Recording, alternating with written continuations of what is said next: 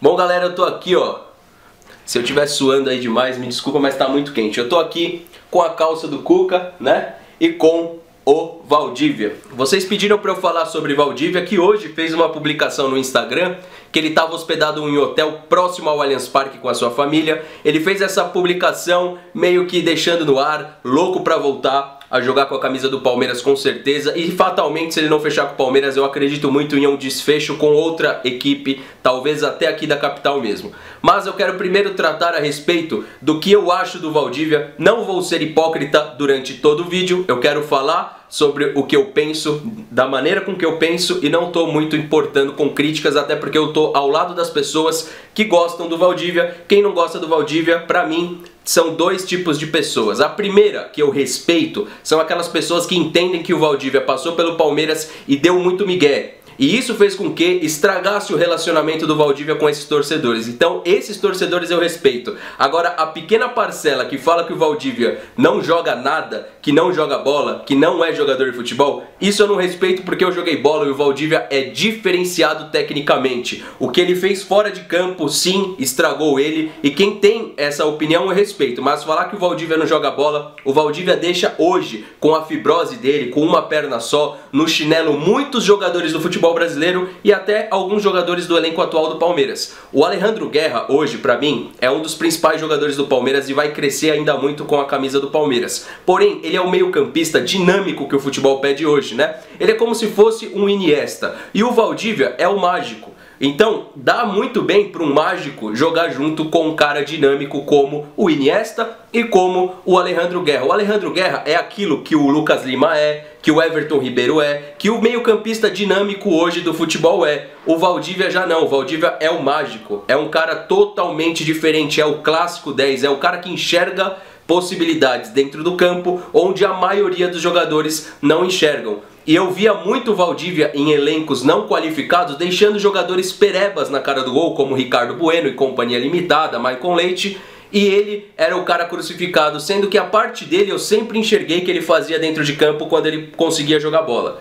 Agora, quando deu elencos pro Valdívia, a gente pode até usar o elenco campeão da Copa do Brasil, que se perdeu ali depois do título e acabou caindo para a Série B, quando colocou jogadores como o Hernan Barcos, a parceria deu muito certo, trouxemos aí mais uma Copa do Brasil, acabamos caindo depois porque era muito, era um desnível técnico muito grande. Se tínhamos por um lado Marcos Assunção, Valdívia e Barcos, por outro lado tínhamos jogadores perebas, como é, o meio-campista Rivaldo, como o lateral Juninho, eram muitos jogadores é, uma diferença de qualidade técnica muito grande. Aquele lateral Arthur, que quando veio, porque fez alguns gols, o torcedor já achava que era o novo Arce, quando era uma puta de uma pereba que sumiu do futebol, inclusive. Então o Palmeiras passava por momentos difíceis em termos de ter um jogador muito bom e ter vários jogadores ruins.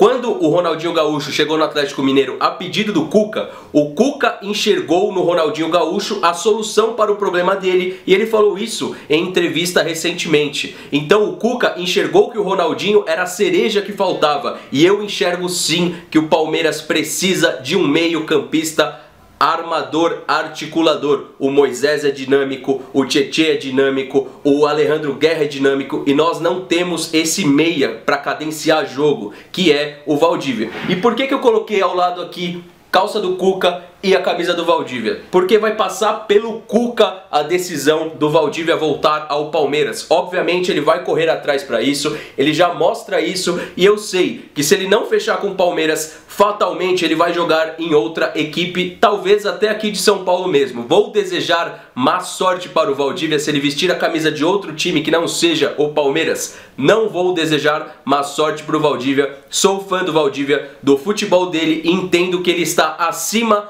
da linha aí, é, da média dos jogadores na posição dele no futebol brasileiro. E se ele tivesse entendido um pouquinho mais o que ele poderia dar para o futebol mundial, o Valdívia teria vestido camisa de Barcelona, Real Madrid, Manchester United, Manchester City, enfim, ele tinha condições para isso e ele mesmo se estragou. É um cara diferenciado, respeitado na seleção do Chile por Vidal, Alexis Sanches, por que não? Seria respeitado por Borja, por Guerra, por Tietê, por Dudu, enfim, é um cara diferenciado na minha opinião. Não estou criticando jogadores do Palmeiras, mas para mim o Valdívia joga em qualquer equipe do Brasil Essa é a minha opinião. E falando a respeito hoje do clássico, o Cuca tirou um pouquinho o peso do elenco. Falando a respeito de tabu, eu acho que o Cuca tá certinho nisso. Se liga aí. Qual é a dificuldade de jogar lá no Morumbi?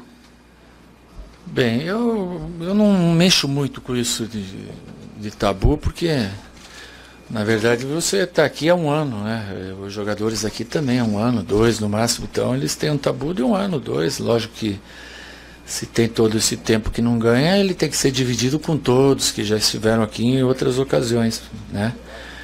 Mas você não tem que pegar isso aí como peso para você, pelo contrário, né? Porque ano passado a gente com naturalidade quebrou muitos tabus em outras circunstâncias locais que não ganhava também, mas sem pressão nenhuma. Importante é a gente pensar no campeonato, na sequência do campeonato, em fazer um bom jogo, em conseguir um bom resultado do que levar para o lado pessoal de, de, de tabu coisa assim.